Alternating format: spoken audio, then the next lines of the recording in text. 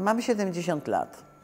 Mam, jestem ciągle w formie zawodowej i mam jeszcze dużo siły, więc pewnie będę grała jeszcze jakiś czas, ale, e, ale cały czas myślę o tym, e, co będzie z tymi dwoma teatrami, co będzie z całą fundacją, jak ja po prostu stracę siły, stracę energię.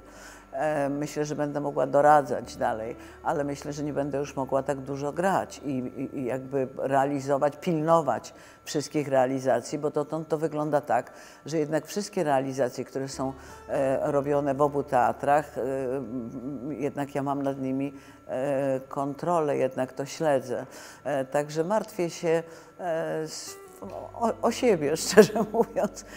No ale myślę, że potem oni wszyscy to poniosą dalej i to będzie trwało.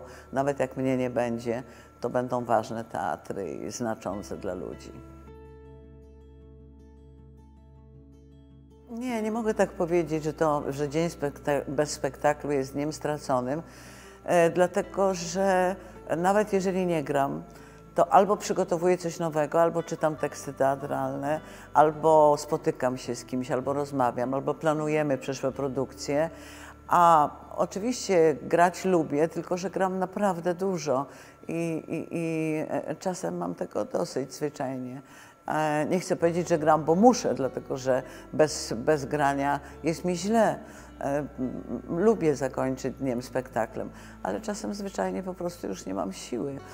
E, Aktorstwo jest trudnym zawodem, to sprzedawanie uczuć, to sprzedawanie też i e, siebie. Mm, mm, Czasem naprawdę nie mam na to ochoty, wolałabym się zaszyć do jakiejś dziury i żeby nikt do mnie nie dzwonił, nic ode mnie nie chciał i żebym nie musiała nic e, pokazywać, żadnych uczuć sprzedawać, żadnych uczuć w sobie wywoływać, żeby ten wieczór był dla ludzi satysfakcjonujący. No ale myślę, że to są mm, prawa każdego zawodu.